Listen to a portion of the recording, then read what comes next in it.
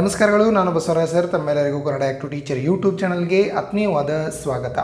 ಪ್ರಿಯರೇ, ಇವತ್ತಿನ ಈ ಒಂದು ವಿಡಿಯೋದಲ್ಲಿ ನಾವು ಸಮಾನಾರ್ಥಕ ಪದಗಳ ಬಗ್ಗೆ ಅಭ್ಯಾಸವನ್ನು ಮಾಡೋಣ.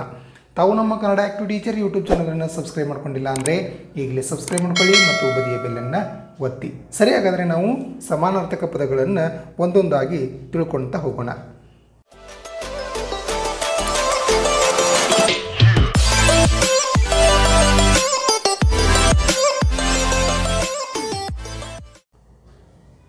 ಫಸಲು ಬೆಳೆ, ಜನನಿ, ತಾಯಿ ಅಂದರೆ ಈ ಪದಗಳನ್ನು, ಈ ಪದಗಳ ಅರ್ಥವನ್ನು ಹೋಲ್ತಕ್ಕಂಥ ಮತ್ತೊಂದು ಪದಗಳಿಗೆ ಸಮಾನಾರ್ಥಕ ಪದಗಳಂತ ಹೇಳಿ ಕರಿತಾರೆ ಫಲ ಫಲ ಅಂದ್ರೂ ಒಂದೇ, ಪರಿಣಾಮ ಅಂದ್ರೂ ಒಂದೇ, ಜನನಿ ಅಂದರೂ ಒಂದೇ, ತಾಯಿ ಅಂದ್ರೂ ಒಂದೇ ಈ ರೀತಿಯಾಗಿ.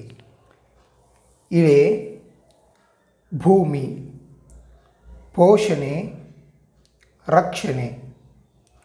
ಸ್ನೇಹಿತ, ಗೆಳೆಯ, ಪಿಕ, ಗಿಳಿ, ವಿತರಿಸು, ಹಂಚುವುದು, ಪ್ರತಿಕೃತಿ, ಮಾದರಿ, ಮಜಾ, ಆನಂದ, ಮುದ್ದಿನ, ಪ್ರೀತಿಯ, ಗಣ್ಯ, ಶ್ರೇಷ್ಠ, ಅದ್ಭುತ ಆಶ್ಚರ್ಯ, ಸಂಭ್ರಮ, ಉತ್ಸಾಹ, ಬೇಸಾಯ, ಒಕ್ಕಲುತನ, ಧರೆ, ಭೂಮಿ, ಕೋತಿ, ಮಂಗ, ನೆರ, ಸಹಾಯ, ಸಲೆ, ಝರಿ, ಮೈದಾನ, ಬಯಲು, ರೆಂಟೆ.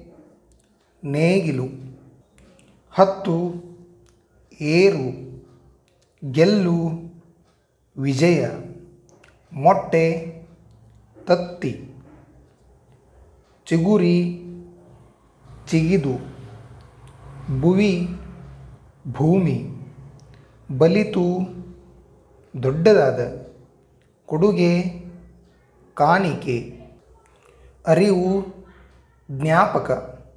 ರಸ್ತೆ, ದಾರಿ, ದ್ವಾರ, ಬಾಗಿಲು, ಆಸಕ್ತಿ, ಆಲಿಸು ಅಂದ ಸುಂದರ, ಸೋಲು, ಅಪಜಯ, ಮನುಜ, ಮನುಷ್ಯ, ಮಾಲಿನ್ಯ, ಹೊಲಸು, ಧ್ವಜ, ಝೇಂಡಾ, ಸಮವಸ್ತ್ರ, ಗಣವೇಶ. ಬೀದಿ, ದಾರಿ, ವಂದನೆ, ನಮಸ್ಕಾರ, ವಿವಿಧ, ಬೇರೆ ಬೇರೆ, ಮುಕ್ತಾಯ, ಕೊಣೆ, ರಜೆ, ಸೂಟಿ, ಹಳ್ಳಿ, ಚಿಕ್ಕ ಊರು, ಪುಟ್ಟ, ಸಣ್ಣ, ಕಾರ್ಯ, ಕೆಲಸ, ಮರಳಿ, ತಿರುಗಿ, ಶಾಖ ಕಾವು ಕಾಯಿಲೆ ರೋಗ ಮಾರ್ಗ ದಾರಿ ಶುಕ ಕೋಗಿಲೆ ಆರೈಕೆ ಉಪಚಾರ ಭಯ ಹೆದರಿಕೆ ಕೊಣರು ಚಿಗುರು ಶುಚಿ ಸ್ವಚ್ಛ ಉತ್ತತ್ತಿ ಕಾರಿಕ ಭಾವಚಿತ್ರ ಫೋಟೋ ಪಾರ್ಕ್ ಉದ್ಯಾನ, ಪಕ್ಕದ ನೆರೆಯ ಗಣ್ಯರು, ಪ್ರಮುಖರು ವೀಕ್ಷಿಸು, ನೋಡು, ಮಿಠಾಯಿ, ಸಿಹಿ, ಗಮನಿಸು, ನೋಡು, ಜಲ, ನೀರು, ಖಚಿತ, ನಿಶ್ಚಿತ, ಆಗುವ ಆಗುವ, ದಿಗಿಲು, ಗಾಬರಿ, ಉದರ, ಹೊಟ್ಟೆ, ಬಗೆ रीति।